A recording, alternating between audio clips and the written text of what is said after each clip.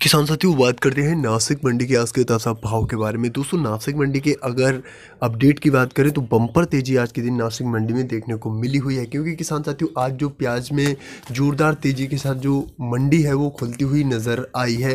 वहीं पर दोस्तों, अगर रेट की बात करें तो इक्कीस सितंबर दो हज़ार इक्कीस हो चुका है और इक्कीस सितंबर दो हज़ार इक्कीस की आज की ताज़ा अपडेट, ताज़ा रिपोर्ट के बारे में मैं आपको इस वीडियो में सारी सटीक जानकारी और सटीक अपडेट के साथ बताऊँगा। चलिए दोस्तों, वीडियो को शुरू करते हैं। उससे पहले अनुरोध है आपसे, अगर आपने चैनल को सब्सक्राइब नहीं किया है तो हमारे चैनल को ज़रूर सब्सक्राइब करें और वेल आइकन को प्रेस कर दें ताकि मैं जैसे ही अगली वीडियो अपलोड करूँगा, उसका नोटिफिकेशन सबसे पहले आपके पास ज़रूर पहुँचेगा।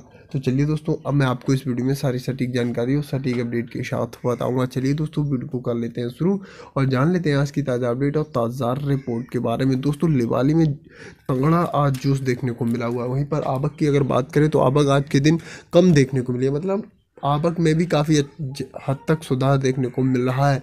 और किसान साथियों, अगर बात करें रेट की तो सुपर वाला जो प्याज है वो दो हज़ार रुपये प्रति क्विंटल के हिसाब से देखने को मिला हुआ है। और एवरेज प्याज की अगर बात करें किसान साथियों तो सत्रह सौ रुपये से लेकर उन्नीस सौ रुपये वहीं पर गोल्टा प्याज की अगर बात करें तो तेरह सौ रुपये से लेकर सोलह सौ और छोटे छटर मिक्स प्याज की अगर बात करें किसान भाइयों तो छः सौ रुपये से लेकर बारह सौ रुपये प्रति क्विंटल के हिसाब से आज के दिन नासिक मंडी का जो माहौल है, वो देखने को मिला हुआ है। अगर तेज़ी की बात करें तो तेज़ी का जो माहौल है किसान साथियों, आज के दिन नासिक मंडी में बम्पर तेज़ी के साथ जो माहौल है, वो किसान साथियों देखने को मिला हुआ है। आज के दिन नासिक मंडी में किसान साथियों